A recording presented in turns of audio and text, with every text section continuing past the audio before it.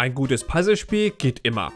Das dachte in den 90ern auch Nintendo und veröffentlichte viele solcher Titel, die auch gerne mal einen eigenen Charakter als Star hatten. Neben Mario und Co. hat auch sein böser Widersacher Wario einen Titel bekommen. Wie spielt es sich? Was taugt Varios Woods für das Super Nintendo heute noch? Das Spiel wurde von Nintendo programmiert und auch 1995 bei uns veröffentlicht. In den USA erschien es ein Jahr früher und in Japan gar nicht. Neben dem Super Nintendo erschien im selben Jahr auch eine Version für das NES. Das Spiel ist heute unter anderem in der virtuellen Konsole des 3DS und der Wii U erhältlich. Die Story ist natürlich simpel. Mario ist in das Pilzkönigreich eingedrungen. Mario scheint gerade irgendwie beschäftigt zu sein und so muss der Pilzkopf Toad den Fiesling wieder vertreiben. Mit der Logik hätte das Spiel ja auch eher dann Toads Woods heißen müssen müssen. Aber naja, egal.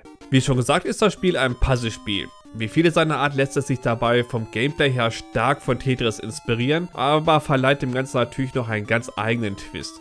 Auf dem Spielfeld habt ihr kleine Monster verteilt, die verschiedene Farben haben. Von oben fallen jetzt Bomben oder Monster herunter. Eure Aufgabe ist es nun mindestens drei Bomben bzw. Monster derselben Farbe zu kombinieren, um sich verschwinden zu lassen. Mindestens ein Element in dieser Reihe muss dabei allerdings eine Bombe sein. Logisch, sonst habt ihr keine Sprengkraft. Soweit also Standard. Die Steuerung des Ganzen ist jedoch etwas anders, da er nicht die Blöcke direkt steuert, sondern unseren Helden Toad. Der flitzt im Spielfeld herum, stapelt stapelt die einzelnen Blöcke. Ihr könnt die Blöcke dabei aufheben und werfen und Ziel ist es natürlich, das eigene Spielfeld freizukriegen. Wenn es nämlich voll ist, ist Game Over. Das finde ich einen sehr interessanten Ansatz, da sich das Gameplay durch diesen Twist angenehm anders anfühlt und auch spielt. Damit euch nicht so schnell langweilig wird, gibt es viele verschiedene Spielmodi. Im Hauptmodus tretet ihr gegen verschiedene Computergegner an, die alle einen eigenen Spielstil haben. Ziel ist es dort immer vor diesen fertig zu werden.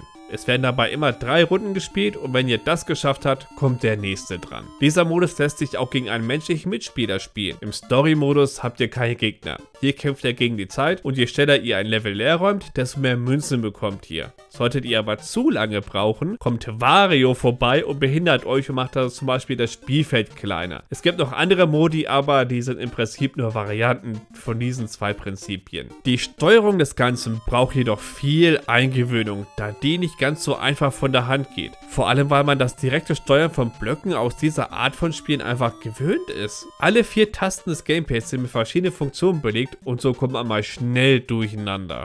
Die Grafik ist, wie nicht anders zu erwarten war, wunderbar stimmig und einfach zeitlos. Die Animationen sind schön geraten und die allgemeinen Umgebungen sind ebenso jederzeit passend. Der Sound ist ebenso genau das, was ihr von ihm erwartet. Typisches Puzzler-Gedudel begleitet euch und die Effekte sind unauffällig, aber passend. Groovy.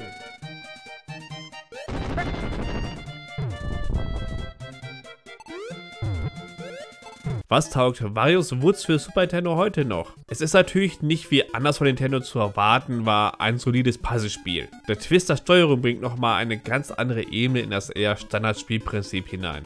Ganz warm bin ich ehrlich gesagt jedoch nicht mit dem Spiel geworden, da die Steuerung für mich einfach zu fummelig und so kompliziert ausfällt. Puzzlefans können hier aber auf jeden Fall mal einen Blick riskieren.